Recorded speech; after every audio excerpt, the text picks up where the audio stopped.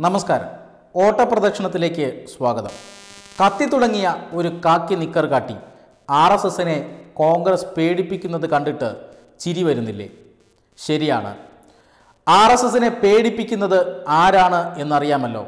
രണ്ടായിരത്തി പതിനാലിലും രണ്ടായിരത്തി പത്തൊൻപതിലും തോറ്റു തുന്നം പാടിയ ഇന്ത്യൻ നാഷണൽ കോൺഗ്രസ്. രണ്ടായിരത്തി പത്തൊൻപതിലെ ദയനീയ തോൽവി ഏറ്റുവാങ്ങിയ ശേഷം നിക്കർ കീറി പുറത്തേക്ക് ഓടിമറിഞ്ഞ ഞാനിനി കളിക്കാനില്ലേ എന്ന് പറഞ്ഞ് കണ്ടം വഴി ഓടിയ രാഹുൽ ഗാന്ധിയുടെ അതേ പാർട്ടി.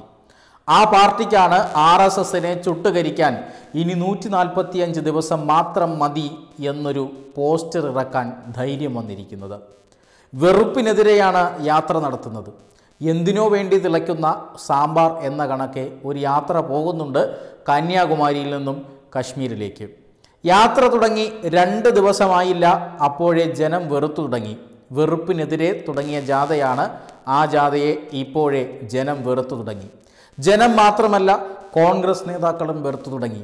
ഇന്ന് തിരുവനന്തപുരത്ത് പ്രവേശിച്ച ഈ ഭാരത് ജോഡോ യാത്രയിൽ പങ്കെടുത്ത ശശി തരൂരിന്റെയും കെ സുധാകരന്റെയും കെ മുരളീധരന്റെയും ഒക്കെ മുഖം നിങ്ങൾ ശ്രദ്ധിച്ചു കാണുമല്ലോ. നേമത്ത് കസേര കിട്ടാതെ ഇറങ്ങിപ്പോയ കെ മുരളീധരന്റെ മുഖം മാത്രം ശ്രദ്ധിച്ചാൽ മതി. ജനം മാത്രമല്ല കോൺഗ്രസ് നേതാക്കളും ഏതാണ്ട് വെറുത്തു തുടങ്ങി.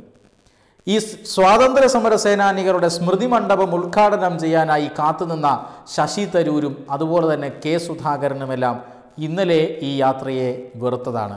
കാരണം ക്ഷണിച്ചു വരുത്തിയ ആളുകൾക്ക് മുന്നിൽ ഇങ്ങനെ ഇളിഭ്യരായി നിൽക്കേണ്ടി വന്നു രാഹുൽ ഗാന്ധിയെയും കാത്ത് മണിക്കൂറുകളോളം. അവസാനം രാഹുൽ ഗാന്ധി വരില്ല എന്നറിഞ്ഞപ്പോൾ എല്ലാം ഇറഞ്ഞുടച്ച് ഇറങ്ങിപ്പോകേണ്ടി വന്നു. ജനങ്ങളുടെ മുന്നിൽ മാപ്പ് പറയേണ്ടി വന്നു കേരളത്തിലെ K P C C president K സുധാകരന്.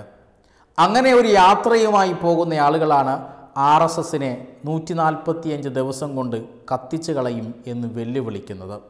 ഈ ആർ എസ് എസ് ഇങ്ങനെ ഇന്നലെയോ ഇന്നോ മുളച്ചു പൊന്തിയ സംഘടനയല്ല എന്നിവർക്ക് അറിയില്ലേ എന്നറിയില്ല. പക്ഷേ നൂറാം വയസ്സിലേക്ക് കടക്കുന്ന ഒരു സംഘടനയാണ് ആർ എസ് എസ്. ആയിരത്തി തൊള്ളായിരത്തി തൊണ്ണൂറ്റി അഞ്ച് മുതൽ അവർ ഇവിടെയുണ്ട്. നിങ്ങൾ സ്വാതന്ത്ര്യത്തിന് വേണ്ടി മാത്രം പോരാടിയപ്പോൾ നിങ്ങൾ രാജ്യത്തെ വെട്ടിമുറിച്ചുകൊണ്ട് നേടിയ സ്വാതന്ത്ര്യം ആഘോഷിക്കുമ്പോൾ ആർ എസ് എസ് സ്വാതന്ത്ര്യത്തിന് വേണ്ടി മാത്രമായിരുന്നില്ല സ്വാതന്ത്ര്യത്തിന്റെ സംരക്ഷണത്തിനും വേണ്ടി പോരാടുകയായിരുന്നു. നാൽപ്പത്തിയേഴിന് ശേഷം നിങ്ങൾ അധികാരത്തിലിരുന്ന ഖജനാവിൽ നിന്ന് കോടികൾ വെട്ടിച്ച് നക്കിക്കൊണ്ടിരുന്നപ്പോൾ അവർ ഗ്രാമങ്ങളിലേക്ക് പടരുകയായിരുന്നു. നിങ്ങളുടെ അഴിമതിയെക്കുറിച്ചും നിങ്ങളുടെ കുടുംബാധിപത്യത്തെക്കുറിച്ചും നിങ്ങളുടെ ഭരണത്തിന്റെ ന്യൂനതകളെക്കുറിച്ചും അവർ ഗ്രാമീണരോട് സംസാരിക്കുകയായിരുന്നു. നിങ്ങളുടെ തന്നെ നേതാവ് പറഞ്ഞതുപോലെ ഇന്ത്യയുടെ ആത്മാവ് ഗ്രാമങ്ങളിലാണ് ഉണരുന്നത്. ആ ഉപദേശം കേട്ടത് നിങ്ങളല്ല മറിച്ച് ആർ എസ് എസ്സുകാരാണ്. അവർ അങ്ങനെ പടർന്നു പന്തലിച്ച് രണ്ടായിരത്തി പതിനാലായപ്പോൾ നിങ്ങളെ കീഴടക്കി കളഞ്ഞു നിങ്ങൾ ഇപ്പോൾ ആ വടവൃക്ഷത്തിന് താഴെ ഒരു പുൽക്കൊടി മാത്രമാണ്. അപ്പോഴാണ് നിങ്ങളുടെ ഈ വെല്ലുവിളി വരുന്നത്. ഒരു കാര്യം ഉറപ്പിച്ചു പറയാം. നൂറ്റി നാൽപ്പത്തിയഞ്ച് ദിവസം മാത്രമല്ല നൂറ്റി നാൽപ്പത്തിയഞ്ച് വർഷം തന്നിരിക്കുന്നു. ഒന്ന് കത്തിച്ച് കാണിച്ചു തരാമോ? വെബ് ഡെസ്ക് തത്തുമയി ന്യൂസ്.